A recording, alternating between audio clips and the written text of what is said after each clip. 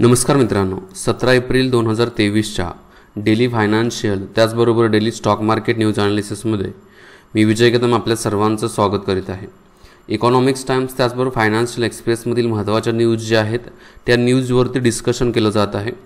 आज मंडे आहे आणि आज एक आठवड्याचा व्ह्यू जो आहे म्हणजे आठवड्यामधील ज्या स्टॉक्स जे आहेत या वेगवेगळ्या स्टॉकच्या बाबतीमधला न्यूज त्याचबरोबर निफ्टी फिफ्टीच्या बाबतीमधला न्यूज जो आहे हा इथं डिफरंट ॲनालिस्ट जे आहेत त्यांच्यामार्फत सांगितला जातो.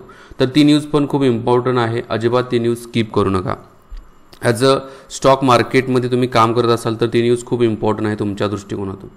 चला तर आपण चालू करूया. पहिली न्यूज जे आहे ते ॲपलचे जे सी ई ओ जे आहेत ॲपलचे सी ई ओ यांच्यामार्फत भारताला व्हिजिट केलेली आहे.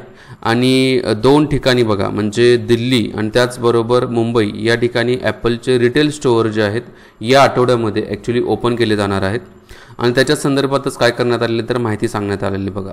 आता टीम कुक काय म्हणत आहेत की excited to build upon our long history in India म्हणजे जवळपास पंचवीस वर्षाची हिस्ट्री जी आहे या हिस्ट्रीबरोबर इंडियाच्या काय करायचं आहे तर एक बॉन्डिंग करायचं आहे बिल्डअप करायचं आहे. आणि त्या दृष्टिकोनातून काय झालं तर ही एक एक्साइटमेंट आहे असं सांगण्यात आलेलं आहे. आता ऑल इंडियामध्ये ॲपलचे नंबर ऑफ स्टोअर ओपन करण्याचं एक टार्गेट जे आहे टीम कुक यां टीम कूप कूक यांच्यामार्फत सांगण्यात आलेलं आहे.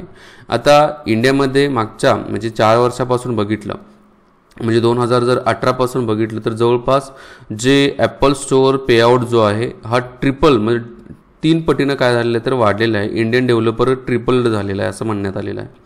आणि पहिल्या दिवशी म्हणजे ओपनिंग डे जो आहे Apple first retail store in India जवळपास पाच हजारच्या आसपास काय होतील तर जे काही मॉल्समध्ये व्हिजिटर्स जे असतील ते अट्रॅक्ट होतील. याच्या संदर्भात काय केलं तर जिओ वोल्डच्या मार्फत पण ही माहिती सांगण्यात आलेली आहे. सो ॲपल हळूहळू इंडियामध्ये काय होत आहे तर वेगवेगळ्या मार्गाने स्प्रेड होण्याचा काय करत आहे प्रयत्न करत आहे बघा. नेक्स्ट न्यूज जी आहे ती महिंद्रा अँड महिंद्राच्या बाबतीमध्ये आहे. महिंद्रा अँड महिंद्रा जे आहे ते recast top management roles of auto biz and readies for the electrical play. म्हणजे इलेक्ट्रिकल प्ले जो आहे याच्यासाठी महिंद्रा अँड महिंद्रा आता काय झालेलं तर रेडी झालेला आहे. इवन दो या आर्टिकलमध्ये तेच सांगण्याचा प्रयत्न केलेला आहे की मॅनेजमेंट रोल जो आहे हा ॲटोमधील खूप इम्पॉर्टंट रोल आहे. त्यालाच रिकास्ट म्हणजे थोडक्यात जर इलेक्ट्रिकल वेगळं डिपार्टमेंट तयार केलं तर या इलेक्ट्रिकल डिपार्टमेंटसाठी काय केलं आहे तर वेगळे सी ई ओ जे असतील सी ओ पोझिशन तयार केली जाईल आणि त्याच्या संदर्भात त्यांच्यामार्फत मॅनेजमेंट केली जाईल या दृष्टिकोनातून काय केलेलं आहे तर इथं सांगण्यात आलेलं आहे. आता मॅनेजमेंट काउन्सिल जे आहे ही काय करण्यात आली? Created for its electric division जे आहे. म्हणजे इलेक्ट्रिकल डिव्हिजन ऑलरेडी क्रिएट केलेलं आहे. आणि पॉसिबिलिटी असं म्हटलं जातं. Would be lead Rajesh Jejurikar जे असतील ते लीड करतील. C O in the indirectly मी म्हणेल की त्यांची अपॉइंटमेंट केली जाऊ शकते बघा. इलेक्ट्रिकल युनिटच्या बाबतीमध्ये सांगायचं म्हटलं तर दोन हजार सत्तावीसपर्यंत महिंद्रा अँड महिंद्रानं टार्गेट ठरवलेलं आहे की वीस ते तीस टक्के काय केलं जाईल तर इलेक्ट्रिकल युनिट जे आहे भारतामधलं तर त्याच्यामधलं आपला सेल इस्टिमेशन जे आहे ते त्यांच्या मार्फत मांडण्यात आलेलं आहे बघा. ठीक आहे? तर थोडं महिंद्रा अँड महिंद्राच्या बाबतीमध्ये थोडं बघू शकता की इनोव्हेटिव्ह प्रो प्रोडक्टच्या बेसिसवरती काम करण्याचा ते प्रयत्न करत आहेत. नेक्स्ट न्यूज जे आहे ते E S E S R ग्रुपच्या संदर्भात आहे बघा. जवळपास चारशे करोडचं लॉजिस्टिक पार्क जे आहे हा गुजरातमध्ये ओपन करण्याचा जे काही प्लॅन जो आहे ते ई एस आर या कंपनीने ठरवलेला आहे बघा. आणि याच्यासाठी एक म्हणजे साधारणतः दहा लाख स्क्वेअर फूटचा जो हा पार्क जो आहे हा या कंपनीच्या मार्फत सेटअप केला जाणार आहे. ही एक रिअल इस्टेट सर्व्हिस अँड इन्व्हेस्टमेंटमधील मेजर कंपनी आहे बघा ई एस आर. तर त्याच्यामार्फत हा प्लॅन करण्यात आले याच्यातून काही प्रोजेक्टच्या प्रोजेक्ट्स जे असतील त्यांना बेनिफिट्स होईल जसं की पोर्ट कनेक्टिव्हिटी जी आहे त्याला फायदा होऊ शकतो. त्याचबरोबर दिल्ली मुंबई इंडस्ट्रियल कॉरिडॉर जो आहे त्याच्यासाठी पण फायदा होऊ शकतो. वेस्टर्न जो डेव्हलपमेंट संदर्भातला कॉरिडॉर आहे त्याच्यासाठी पण फायदा होऊ शकतो. आणि नंबर ऑफ बेनिफिट्स जे आहेत याच्यामार्फत होऊ शकतात. त्या दृष्टिकोनातूनच लॉजिस्टिक पार्क जे आहे ते गुजरातमध्ये ओपन करण्याचं काय केलेलं आहे तर ई एस आर ग्रुपनं ठरवलेलं आहे बघा. नेक्स्ट मुद्दा जो आहे तो नीती आयोगाच्या संदर्भात आहे बघा. इलेक्ट्रिकल व्हेकल पॉलिसी जी आहे ते रिव्ह्यू करण्याच्या दृष्टिकोनातून नीती आयोग जो आहे काय करत आहे तर वर्क करत आहे. आता मुद्दा काय बघा. इलेक्ट्रिकल व्हेकलला सगळ्यात महत्त्वाची लागते ते लिथियम आयनची बॅटरी लागते. आता लिथियम आयन बॅटरी जी आहे मॅक्सिमम पूर्ण वर्ल्ड जगाला लिथियम आयन प्रोव्हाइड करणारा देश कुठला आहे तर चीन आहे. जवळपास साठ टक्के चीनच्या मार्फत काय केलं जातं तर ग्लोबल सर्व्हिस जी आहे लिथियम आयनची दिली जाते. भारतामध्ये पण लिथियम आयनच्या ज्या बॅटऱ्या ज्या आहेत हे जे इम्पोर्ट केलं जात आहे ते चीनमधूनच केले जात आहे. बट ही डिपेंडन्सी जर आपल्याला काढायची असेल तर काही ऑप्शन जो आहे हा ऑप्शन बघणं दृष्टी बघणं गरजेचं आहे. त्या दृष्टिकोनातूनच नीती आयोग काय करत आहे तर इलेक्ट्रिकल व्हेकि पॉ व्हेकलची पॉलिसी रिव्ह्यू करत आहे. आणि चायनावरची जी डिपेंडन्सी आहे ती रिड्यूस करण्याच्या दृष्टिकोनातून काय करत आहे ते प्रयत्न करत आहे. जवळपास पंच्याहत्तर टक्के लिथियम आयन बॅटरीच्या संदर्भात बा भारत जो आहे तो चीनवरती अवलंबून आहे. पंच्याहत्तर टक्के इम्पोर्ट जे लिथियम आयन बॅटरीचं भारताच्या मार्फत केलं जात आहे बघा चीनमधून. सो याच्या संदर्भातच काय केलं आहे तर इथं सांगण्यात आलेलं आहे. नेक्स्ट न्यूज जी आहे ती इन्फ्लेशनच्या संदर्भात आहे. मागच्या सहा वर्षामध्ये बघितलं म्हणजे दोन हजार साधारणतः सोळा सतरापासून बघितलं आत्तापर्यंत. तर रुरल इन्फ्लेशन जे आहे ग्रामीण भागामधली जी किंमतवाढ भाववाढ जी आहे ती हायर झालेली आहे. हे इथं सांगण्याचा प्रयत्न केलेला आहे बघा. आता काही इन्फ्लेशन जे आहे म्हणजे फायनान्शियल इयर दोन हजार तेवीस बघितलं तर यामधील सिक्स इयरमधील काय आहे सगळ्यात हायेस्ट इन्फ्लेशन रुरल इन्फ्लेशन आहे. इवन दो अर्बन इन्फ्लेशन म्हणजे शहरी भागातील जे इन्फ्लेशन आहे त्याच्यापेक्षा ग्रामीण भागामध्ये इन्फ्लेशन जास्त पाह जास्त पाहायला भेटत आहे बघा. आता भारतामध्ये इन्फ्लेशनचं टार्गेट जे आहे ते दोन ते सहा टक्केच्या मध्ये पाहिजे. बट जर आपण इथं बघितलं रुरल इन्फ्लेशन जे आहे ते सहा टक्केपेक्षा काय तर जास्त पाहायला भेटत आहे. आता काही पर्टिक्युलर इन्फ्लेशन इथं देण्यात आले जसं फूड अँड बेवरेज संदर्भातले इन्फ्लेशन आहे. क्लोथ्स अँड फूड फेअर्सच्या संदर्भातलं आहे. फ्युएल अँड लाईटच्या संदर्भात आहे. तर द इन्फ्लेशन देण्यात आलेलं आहे. आता कंझ्युमर फूड प्राईज इंडेक्स जो आहे हा सिक्स पॉईंट एट पर्सेंट आहे. हा ग्रामीण भागामध्ये सिक्स पॉईंट टू पर्सेंट जो आहे तो कुठं आहे? तर शहरी भागामध्ये अर्बन भागामध्ये पाहायला भेटत आहे बघा. आता इन्फ्लेशनचा रेट सगळ्यात जास्त कोणत्या राज्यामध्ये आहे असं विचारलं तर तेलंगणा राज्यामध्ये सगळ्यात जास्त आहे. आठ पॉईंट सहा टक्के आहे बघा.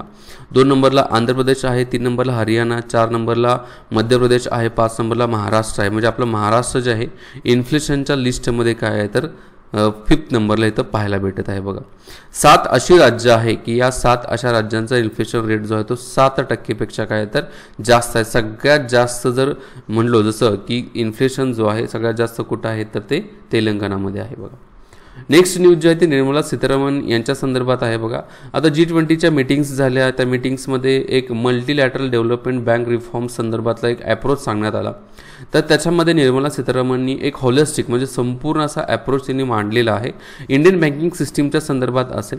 त्याचबरोबर वर्ल्ड बँकिंग सिस्टीमचा इंडियन बँकिंग सिस्टीमवरती किंवा वर्ल्ड वाईडचा इंडियन बँकिंग सिस्टीमवरती पण काय करत आहे तर परिणाम पाहायला भेटत आहे. त्याच्यातून पण एक प्रकारची एक स्टॅबिलिटी इंडियन बँकिंगमध्ये पाहायला भेटत आहे.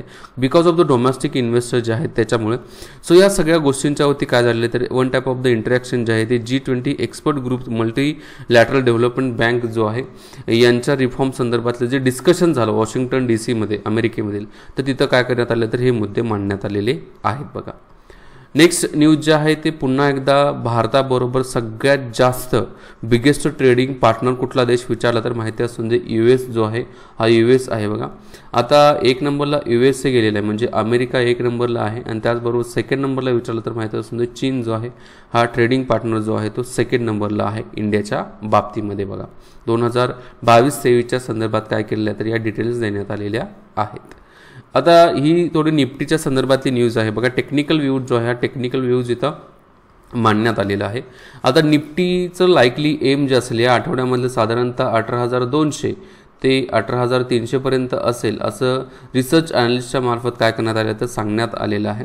आणि समजा निफ्टीनं जर करेक्शन केलं तर करेक्शन केलं तर साधारणतः निफ्टी सतरा चारशे ते सतरा सहाशेच्या रेंजपर्यंत काय आहे तर येऊ शकते. कारण हा काय तर एक one type of the support आहे. आणि हा आपण वरती जात आहे तिथं रेजिस्टन्स म्हणेल. त्याच्यावरती जर गेली तर निफ्टीची मुवमेंट चांगली होऊ शकते असं सांगण्यात आलेलं आहे.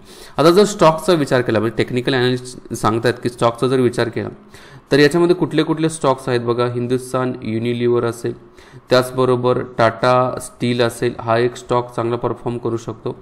त्याच्यानंतर आहे टायटन आहे. टायटनचा पण चांगला परफॉर्मन्स असू शकतो.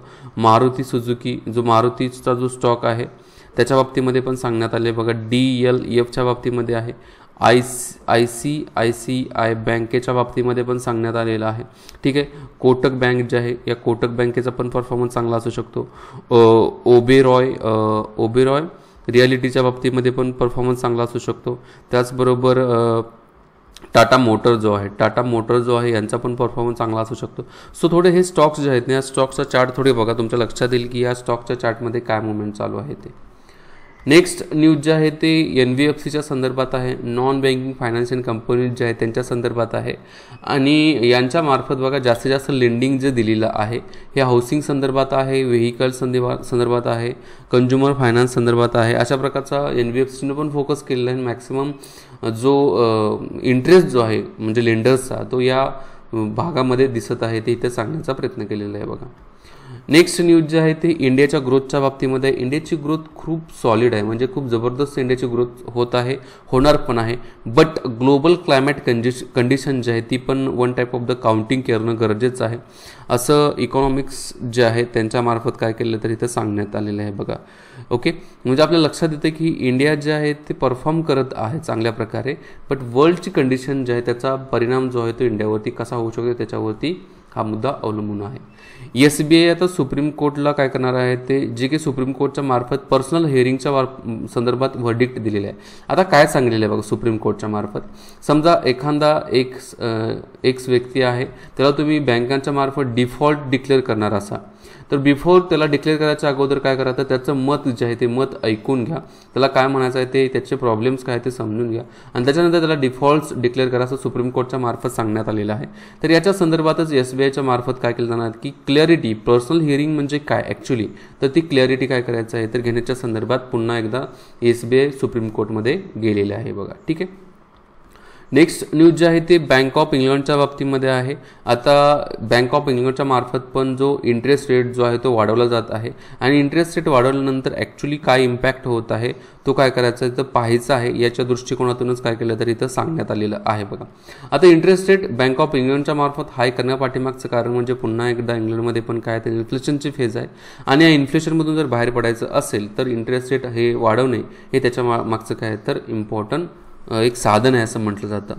ही न्यूज जी आहे थोडी आपल्याला माहिती असेल म्हणजे सौदीचे जे क्राऊन जे म्हणजे सौदीचा जो प्रिन्स आहे यांच्यामार्फत चार टक्के जे आरामको आरामको ही सगळ्यात मोठी कंपनी आहे बघा. हिला ॲपलच्या टक्करची कंपनी म्हणली जाते. आणि ही जी कंपनी आहे या कंपनीचा म्हणजे क्रूड ऑइल्स प्रोडक्शनच्या बाबतीमध्ये जगातील टॉप लेवलची कंपनी आहे. तर याचे चार टक्के स्टेक्स जे आहे ते पब्लिक इन्व्हेस्टमेंट फंड जो आहे यांना काय करायचं द्यायचं आहे असं काय करण्यात आलेलं आहे. तर सौदीचे क्राऊन जे आहे प्रिन्स यांच्यामार्फत इथं सांगण्यात आलेलं आहे. बघा. नेक्स्ट न्यूज जे आहे ते गव्हर्नमेंटचा प्लॅन आहे की प्रीपे ऑफ बजेट बॉन्ड्स जे आहेत आता ऑफ बजेट बॉन्ड्स म्हणजे काय?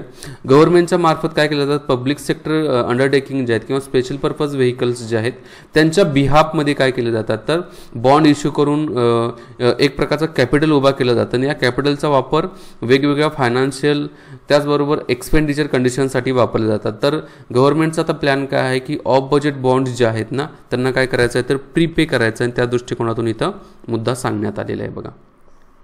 नेक्स्ट न्यूज आपण बघू. नेक्स्ट न्यूज जी आहे ती देशातील जवळपास वीस ते पंचवीस टक्के टॉप फर्म्स जे आहेत त्यांचा सेल्स जो आहे तो समरमध्ये वाढेल. म्हणजे या उन्हाळ्यामध्ये वाढेल असं काय करण्यात आलेलं आहे? तर ब्ल्यू स्टारचे जे एम डी आहेत त्याचबरोबर वरुण बेवरेज जे एम डी जे आहेत यांच्यामार्फत इथं स्टेटमेंट देण्यात आले. मुद्दा काय बघा? उन्हाळा खूप कडक आहे आणि या कडक उन्हाळ्यामध्ये ए सी असेल त्याचबरोबर आईस्क्रीमच्या किमती असेल बेवरेजच्या किमती ज्या असतील किंवा त्यांचं प्रोडक्शन जे आहे खूप मोठ्या प्रमाणामध्ये वाढेल. जवळपास वीस ते पंचवीस टक्के याच्यातून काय होऊ शकतो? तर सेल्स वाढू शकतो. अशा प्रकारे काय करण्यात आले तर इथं सांगण्यात आलेलं आहे बघा. ठीक आहे? नेक्स्ट न्यूज जे आहे ते पब्लिक सेक्टर बँकांच्या संदर्भात आहे. आता पब्लिक सेक्टर बँका ज्या आहेत ते गव्हर्नमेंट इन्शुरन्स स्कीम ज्या आहेत मॅक्सिमम सेलिंगवरती सेलिंगवरती फोकस केलेलं आहे बघा. याच्यामध्ये प्रधानमंत्री जन ज्योती योजना असेल विमा योजना असेल. त्याचबरोबर प प्रधानमंत्री सुरक्षा विमा योजना असेल मुद्रा योजना असेल स्टँडअप इंडिया असेल स्टार्टअप इंडिया असेल या वेगवेगळ्या प्रकारच्या ज्या स्कीम्स आहेत त्या या स्कीम्सना विकण्याचे काम जे आहे ते गव्हर्नमेंट बँका जे आहे ते काय करतील तर फोकस करतील असं काय करण्यात आलं तर इथं सांगण्यात आलेलं आहे बघा. गोल्ड प्राईजच्या बाबतीमध्ये सांगण्यात आलेलं आहे बघा. आता लोन टू व्हॅल्यू जे आहे यालाच एल टी व्ही रेशो जो आहे हा काय झालेला होता? श्रिंक झालेला होता. आता गोल्ड प्राईस जे आहे ते काय आहे? तर गोल्ड प्राईस आपल्याला दिसत आहे की जवळपास साठ हजार काय झालं तर क्रॉस झालेला आहे. आता हे राईज झाल्यामुळे एका साईडला एल टी बी जी होती श्रिंक झालेली होती त्याला पण आता काय करायचं रिझर्व्ह बँक ऑफ इंडियाच्या मार्फत राईज करण्याचा निर्णय घेतलेला आहे. म्हणजे अगोदर जर एक समजा एक एक तोळा. म्हणजे दहा ग्रॅमवरती जर पंच्याहत्तर टक्के काय केलं जात होतं तर लोन दिलं जात होतं. आता आर बी आयने सांगितलं की नाईंटी पर्सेंट लोन द्यायचं आहे. म्हणजे मॅक्सिमम जो बेनिफिट्स जो आहे जे काही गोल्ड होल्डर जे आहे त्यांना होईल या दृष्टिकोनातून काय करण्यात आले तर इथं सांगण्यात आले साधारणतः जूनपासून याचं काय केलं जाईल तर इम्प्लिमेंटेशन केलं जाऊ शकतं. ठीक आहे? तर अशा प्रकारच्या काय तर या महत्त्वाच्या न्यूज आहेत. मी इथं थांबतो. जय हिंद.